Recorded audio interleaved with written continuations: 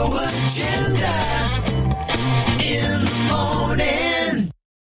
If you want to play one last clip, I do have the Sure. clip about the family. This is you have to look this one up, but I've been keeping it around. Okay. It's about the California political families that run everything.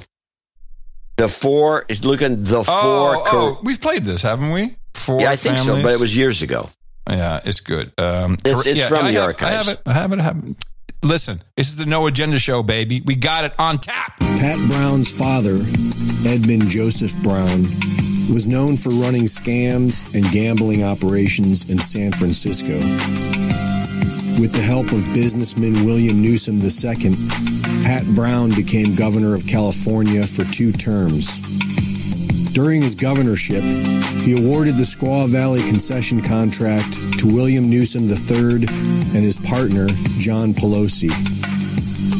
The deal was criticized for the state of California paying for everything and getting nothing. William Newsom III grew up with the governor's son, Jerry, who was training to be a Jesuit priest. John Pelosi's son, Paul, married Nancy D'Alesandro, daughter of Thomas D'Alesandro Jr., who was known for smuggling heroin into the U.S. with Lucky Luciano and the Baltimore Mafia. John Pelosi's son Ron married William Newsom's daughter Barbara. Over ongoing disputes about the Squaw Valley concession, William Newsom Sr. threatened to hurt the governor politically, just as Governor Brown was running for a third term against Ronald Reagan. He lost. But eight years later, the former governor's Jesuit son, Jerry, reclaimed the governorship in 1974.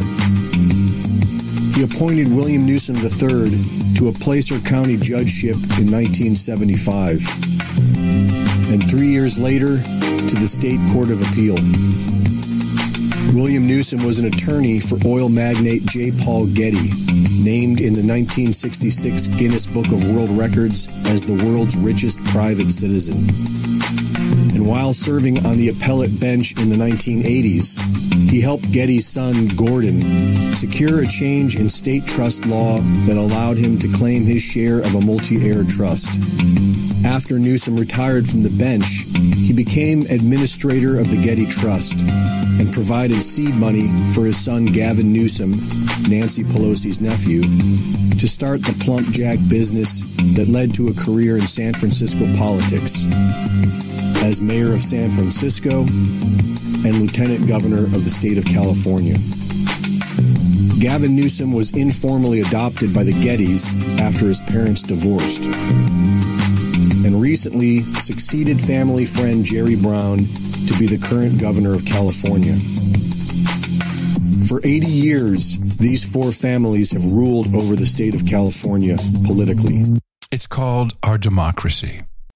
At work, That's what it's called. democracy at work. That's right. And the Bushes, you know, they don't rule California, but they unsuccessfully tried to get Ken Paxton out because George P. Bush was all upset.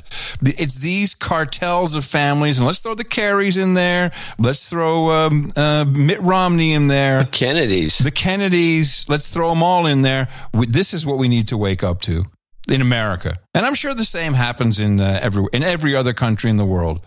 Yeah, Rich families. democracy. Democracy. That's right, everybody. That's your democracy at work. Hey!